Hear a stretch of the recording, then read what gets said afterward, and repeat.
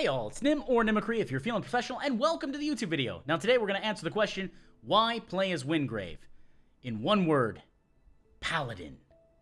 If you like Paladins in Final Fantasy XIV, in World of Warcraft, in other games, Dungeons and Dragons, Wingrave. Wingrave is for you. Holy Armor, Sword and Shield by default. Now you can use other weapons. The fact that your abilities are healing. Righteous Strike heals. Radiant Pulse gives you a shield. Judgment marks enemies that you heal when you damage them. Divine Aegis gives you an invulnerable shield that also heals. Power Bash does a lot of damage and breaks guards, and also your passive ability. Melee finishers heal Wingrave and one nearby ally. All you do is heal and buff your people. It's a paladin. Wingrave is a paladin. If you like paladins, play as Wingrave. Also, Wingrave isn't all that hard to play as. You can pick it up, and you can put him down. Simple enough. And you can see I've got a few things here. You get uh, little archetype passives. Uh, Art of War, my weapon abilities charge 50% faster. And then, of course, uh, dodge roll, I can I can roll a little bit more if necessary. So Wingrave ultimately is not a hard wayfinder to start with and can be rewarding to play, especially if you're running with a dedicated team. That being said, because you have the ability to heal, keep in mind that people will expect you to heal, and sometimes people will blame you if they die. Well, why isn't your Aegis up? Well, why didn't you use Righteous Smite? Or why didn't you finish off that combo so I could get some extra health? The answer is if you're playing as a healer, you're to have to deal with that, so keep that in mind. But I figured, let's show off some of the gameplay for playing Wingrave, and then we can wrap up the video. So now that we've had the class flavor, let's talk about the actual combat capabilities of Wingrave. Right? He's a paladin. Let's see how it actually works in real time. So we're coming up to the blood spawn. So we hit him, obviously, sword and board. We do our Righteous Smite to heal, and of course, Judgment to allow other players to heal off him. Bloodspawn is an interesting boss because you have to kill him like five times. So we'll go through there. I may cut out some of the, some of the actual uh, stuff just because it's a little redundant. But there we go. Everybody gets healed.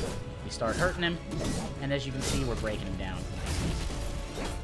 This other guy, I believe, is a Kyros using a shotgun. Or a gun. I don't know if shotgun specifically, but he is using a gun. Alright, we've broken it. We've broken his guard. And so now it's time to start actually hurting him. Because when you break the guard, you do more damage. And the way I've spec my particular Wingrave, uh, the mastery I have is as I break guard, I gain latent power, which really helps. Because latent power means that I can get more power bash and you see, there's that first time. We are running this with a Trickster debuff, so there's burning and fire and death. So, yeah, a lot of fun. Luckily, though, the game scales, so you don't have to worry so much about having to solo certain things. Now, that being said, because you queue in with randoms, you could potentially have a problem. I think we're going to be okay. He's going to do it twice. What? I thought he does it once. Yeah, oh no, he jumps that time.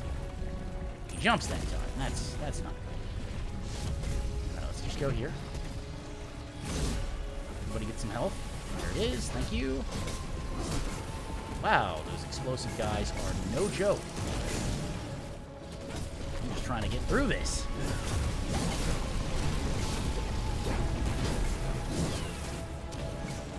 Where are you, dude? One. So I think we have to kill all the spawnlings. I'm not 100% sure how many there are, especially on Sphere 3, which is what I am currently on. Everybody take some damage. Except for me. Oh, I guess I'm still gonna take some damage. Those burning pools are everywhere. It really sucks. Get behind me! Stop. Ah, he's hopping everywhere. So the problem with Sword and Shield in this particular game, as you can see, is that there's not really anything I can do ranged. I mean, I can judge a little bit. Judgment has somewhat of a range, but not really. So that is a limitation there if you wanted a little bit more range. Now, that being said, I think... Oh, hey, we completed it. Nice. We just completed the dungeon. As you can see, we're gonna we're gonna clean up uh, the rest of these molten guys, and found an echo, which was nice. Clear these for extra experience, and just be done. So yeah, that's Wingrave. So why should you play Wingrave? Honestly, if you want to be a paladin, if you want to be a leader, if you want to help out your party, if you want to just kind of be a generalist and go through content. Wingrave's not a hard wayfinder to pick up, and in fact is very beginner friendly. So if you're not great at action games, it can be a lot of fun. So let's pick up the loot. As you can see, ta-da, and there we go, got it. And we got some stuff. So there it is. So guys, if you liked the video, uh, feel free to like, comment, subscribe, and uh, I'll see you in the next one. May the drop your farming drop on the first run of the instance. I'll see you in the next video.